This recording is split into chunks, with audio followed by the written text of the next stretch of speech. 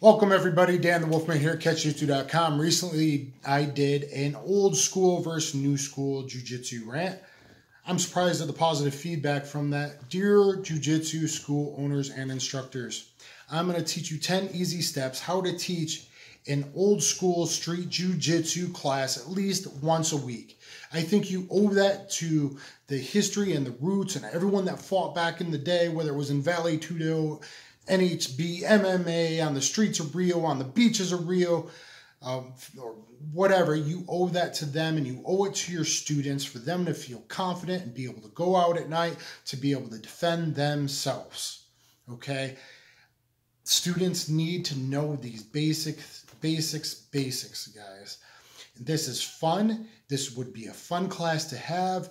You and if you say like, yeah, I teach a great martial art for self-defense, and they don't know how to do a proper up kick and up kicks to the face and proper get up to base, making space. If they don't know how to deal with strikes on the ground, it's not really jujitsu. So if you just want to call your class New School Jiu-Jitsu School, awesome. Sport Jiu-Jitsu School, awesome. But if you're saying Brazilian Jiu-Jitsu, if you're saying a martial art, you should at least do this once a week. So um, Sunday I rolled with a bunch of black belts. I talked to a couple of that, a, a much older one. I've been training jiu-jitsu. I've training martial arts since 86, like almost 34 years, and jiu-jitsu almost 23 years since January 1997. He had been doing jiu-jitsu in Rio since um, 1987, and his students had started in 2007, so 10 years later than me. His student said he was a first-degree black belt. Um, so I talked to both of them about it, and it seems like it's a general consensus. Let's embrace the technical advancements of the new school. But boy, you better have that old school to to not just in grappling fall back on, but you're going to need it against the real thing. Guys, I have bounced off and on 23 years. I have faced multiple attackers, felony attacks, weapons, uh, been overseas, been in different countries, been in the real world. Please take some of what I have with you, to listen to some of it, okay? Um, I have um, fought in the early days of no holds barred fighting before MMA was even a coined term, just as it was transitioning in MMA. Uh, I fought as a white belt exactly eight months after training in jiu jitsu and a few months of wrestling. Um, up to just under five years fighting one of the best fighters, most experienced fighters in the world. So I, I fought six fights, won three by first round submission, and lost three to the, some of the mo the three of the top ten. If you look at my most experienced fighters when I fought them, or now that have just like some like 300 fights combined or something ridiculous.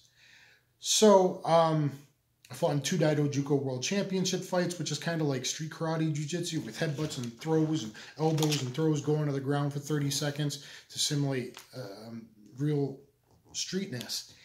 And uh, a lot of no-gi advanced submission tournament stuff as well back in the day. So um, anyway, guys, here it is. I think it's really important to your students. Everyone gets into martial arts because they want to feel confident. The, the environment, the camaraderie, the exercise, the funness of rolling, that's all really important. But let's once a night, let's offer it to the students that want it. And or even make it a requirement. Should people be getting ranks in jiu-jitsu if they don't know the basics of jiu-jitsu? At least once a night. It could be fun. It could be like a Friday night. Uh, let's all get together and then go out for beers later. Right? It could be that. So anyway, here are the 10 steps, easy steps to follow to make a program of an old school street jiu-jitsu night. Um, so here we go, guys. And I have four black belts, multiple systems, trained everything. Just so you know my background. And if I can, I'll edit in footage. I'm very busy tomorrow, so I won't have time. So I don't know if I'll release this or if I'll spend the hours and hope it doesn't crash, is what's happened sometimes, to um, edit in footage of some of this particular techniques I'm talking about, examples. All right, step number one Take down or throw directly into either a submission or a knee ride, double knee ride type position to dominate position, and then the students practice. So it could be hip throw or shoulder throw with Ponchanagi straight into the Juji Gatame armbar. It could be um, spinning a guy around into a rear naked choke using his body armor, as I've done, hiding here or here. I've done that when 10 people were trying to hit me and then stop me on the ground when I was down. Coming to someone's rescue that was sucker punched. MMA author Clyde Gentry. Um, so it could be anything along those lines. It could be more advanced stuff, uh, Kani Basami leg locks and all kinds of stuff. If you want to see if you're more advanced, look at my Enter the Takedowns, Enter the System Takedowns one hour compilation. The first six are pretty basic. My Uchimata kind of look bad, but you know I'm trying not to kill my training partners, guys. Um, and um, but I get in all kinds of more advanced stuff. Okay, single leg and leg lock right away. Uh, double leg and a Von Flue choke, Kani Basami leg takedowns, baseball slide, heel hooks, all kinds of stuff. Okay. Number two, step number two, defense to grab self-defense. So it could be wrist grab, shirt grab, throat grab, headlock, bear hug, etc. and so forth. Any kind of grab, show that old school Gracie Jiu-Jitsu. Try to make it a little more alive okay? Try to make it a little more alive at the end, instructor, when you're showing it the last three times after you've broken down step by step, which yes, newer students are going to need. And then the students practice this, practice that. Step number three, should have done that. Three, that would have been cooler. Step number three, instructor demos a minute or two of a live, random, live, alive, random grab defense going against one of his higher students. So for one to two minutes, break a sweat, work hard. The guy's just constantly grabbing you, coming from the side, coming from behind, coming in a headlock, coming in a bear hug, coming in a rear naked, coming in a guillotine, whatever. Grabbing a wrist, grabbing a cross wrist, grabbing a shirt, and, and acting like he's going to punch you. All that stuff. Instructors, here's the time for you to show and improve yourself and show what students should aspire to. And the students break up and do a live. And some of the beginners are going to be lost but each week you're teaching a different technique, right? So eventually they start compiling different techniques and they're getting sensitivity and strong spine and breathing and awareness and all the stuff I talk about in my um, best self-defense compilation that's 20 minutes. I show tons of live random grab defense re- with real aliveness, guys. I have another video teaching Gracie, um, Rickson Gracie like jujitsu, where I teach the concepts of the spine, structure, breathing, um, sensitivity, and I try to articulate those thoughts. Um, so then students break up and do the alive stuff. Step four, instructor shows a takedown against either someone coming forward, you could just walk forward with some pressure, the wild slaps that are going to, you know, wild swings, um, guerrilla movements that are going to happen for most street attackers. Taking them down. That could be diving in, or Gracie Jiu Jitsu, Royce Gracie UFC 1, outside leg trip. Um, you know, anything like that. Um, you know, different ways of getting the clinch. If you want to add a knee to the groin there and an elbow to a duck under, to an arm try, standing arm triangle, to an Osoto, you could, you know, whatever. Get creative, instructor. I certainly teach a lot of that kind of stuff on my YouTube page. It's all very, very important.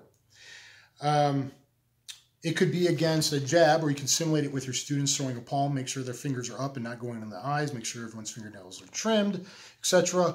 It could be the single leg, sliding way up in a high side mount, looking a hammer fist and attack arm triangles or whatever right away. It could be single leg takedown or a cross ankle lock, Sakuraba style against the jab, against a cross, cross, palm strike cross. It could be the double leg takedown. Everyone wraps the head nowadays. UFC's out there for a long time. Crappy guillotine attempt, you pick them up carefully, you damp, or not so carefully, damp them, dump them in a side mount and do a Von choke. Okay, so now we got some aliveness, and the students are going with some aliveness, not to totally hard, but walking forward with some pressure, someone swinging, someone going, and getting your timing down for your takedowns against a striking opponent. Uber important. All right, now, step five, let's ramp it up a little bit, but to be safe, let's make a line and everybody watch and cheer and go on. As I did this on my first or second night in Jiu Jitsu back in 97 um, the instructor or one of his top students will put on big boxing big boxing gloves and moderating his level of punching power and aggressiveness, but at least with a little bit of forward walking. Um, swing and try to take the head off, you know, 50, 60, 70, like 75% is good of the students so he can get the timing and learn how to clinch properly and get that whatever kind of takedown. So he can do a single or a double or whatever but he can time against the striking opponent.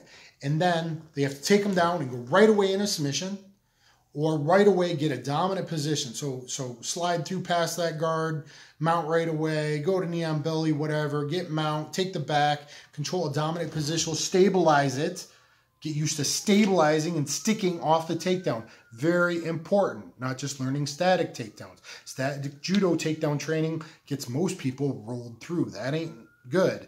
You got to learn how to stick and stabilize off your takedown. Um, and stabilize that position for 10 seconds. It's a lot of fun. The instructor will be pushing off mount, whatever. 10 seconds, yay, and then boom, the next guy, next, go. Great workout for everybody. All right, step number six.